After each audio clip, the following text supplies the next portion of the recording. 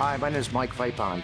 I've been a team maker since probably the mid 80s, and I truly believe that the support of the team makers allows us to be part of that difference.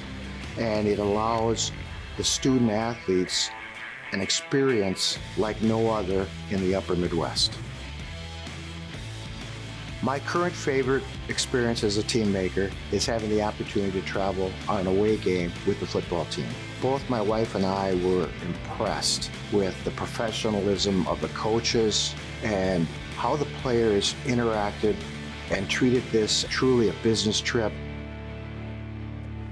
We have the privilege of impacting not only the Fargo Moorhead area, but the economic development throughout the state, whether it's game day showing up in Fargo, a student athlete that wouldn't otherwise be able to get his degree. It's not just the person that can write the big check.